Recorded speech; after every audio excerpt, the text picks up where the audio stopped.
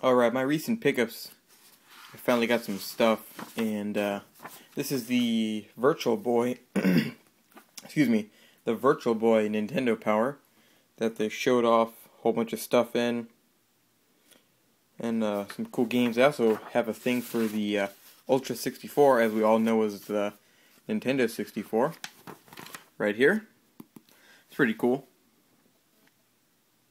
Um, not much about it shows the top 10 adventure games, top 10 Game Boy games, and top 20 Super Nintendo games. Or, yeah, Super Nintendo games. And boom, it jumps you right into Virtual Boy. Um, funny thing is, it's the price. That's such an odd price. 179 Why didn't they just do either 149.99 or 199.99? Always kind of bothered me. Such an odd. Well, didn't really bother me. It just seemed kind of weird. And the show off games. Where's the list of games at? Here it is. Um, Mario, Mario Cruise. That game never came out. So, um, it's pretty cool. There's actually 3D glasses that comes with this thing. Um, I have them. They're in the back. This isn't my best video. I'm just kind of showing off. I haven't really done anything lately. I'll have a video probably by this weekend. Uh, here they are. There's like playing cards and uh, Virtual Boy 3D glasses. Nintendo Power Virtual Boy. Kind of cool. But what I really wanted to show off was my issue number one. I got this on eBay for pretty cheap because it, it was in a rough condition but it, it's mostly in a picture frame. And I usually don't take it out, but I took it out for this one time. Yeah, a little dog-eared here in the corner. Oh well. I got it for cheap.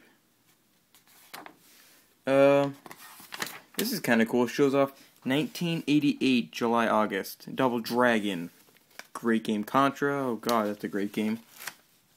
It has a whole bunch of cool stuff that they show off in here. Super Mario Bros. 2 to show off. Has like a a guide on what to do and how to get points and stuff. There is even a yeah, here it is. It helps you out if you're stuck. It's kind of like a, a walkthrough on the first thing through the boss fight, how to beat the boss fights. And then they have a walkthrough through Zelda. I recommend getting this. It's pretty cool seeing the the first Nintendo Power.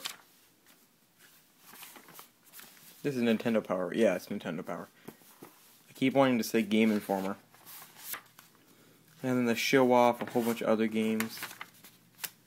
Baseball Roundup. Yeah, someone ripped out some pages in here, which is why this thing was only like five bucks. Metroid. They have a whole walkthrough of Metroid right here. It's kind of cool. Then they show off some cheats you can do the one up glitch in Mario Bros. Kid Icarus. I don't know what that is. Um, don't have that game anymore. Castlevania, which is a great game. I recommend picking that up immediately. Ooh, and uh, Nester. So yeah, this is just kind of the stuff that I've picked up lately. Um, Double Dragon. I have a couple games I'll show. I'm gonna do a, a, a big full review this weekend because I'm going back to the flea market and I'll have more stuff.